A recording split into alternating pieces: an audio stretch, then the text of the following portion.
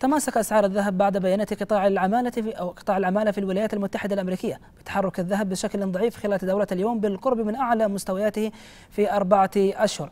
يأتي هذا في ظل تماسك الذهب وتذبذب مستويات الدولار بعد البيانات الأقل من المتوقع عن قطاع العمالة في الولايات المتحدة الأمريكية. بالإضافة إلى هذا فقد أشار البنك الاحتياطي الفيدرالي من خلال محضر اجتماعه الأخير أن البنك سيقوم برفع الفائدة ثلاث مرات خلال العام 2018 ومرتين خلال العام 2019 وتداولت أسعار الذهب عند مستوى 1320 دولار و77 سنتا للأوقية.